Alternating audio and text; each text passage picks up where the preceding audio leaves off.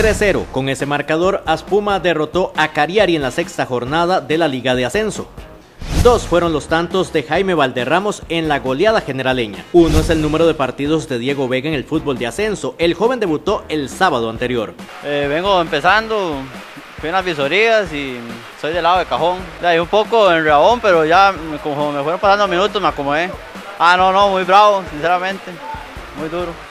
11 son las victorias que tiene Aspuma contra Cariari en la historia. 12 son los goles a favor que tiene el equipo generaleño en el torneo.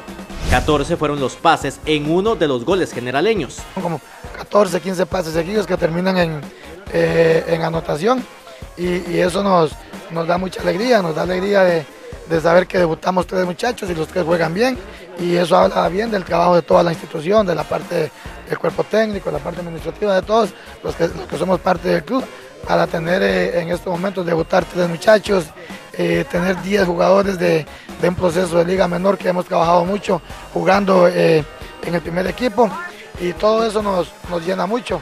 12 son los puntos que tiene Aspuma en seis presentaciones. en eso fuimos muy enérgicos en el, en el, transcurso de la semana, porque los partidos que hemos perdido los hemos perdido en casa y eso no es, no es correcto, o sea, no, mmm, nosotros siempre tratamos de ganar donde quiera que vayamos, pero sobre todo en casa hay que ganar y eso eh, fuimos muy enérgicos en eso.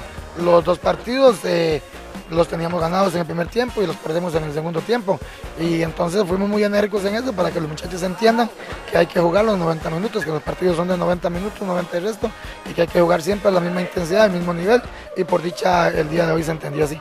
Y tres será el número de partidos que complete a Espuma como visitante el fin de semana cuando vayan a la casa del Uruguay de Coronado en el estadio El Labrador.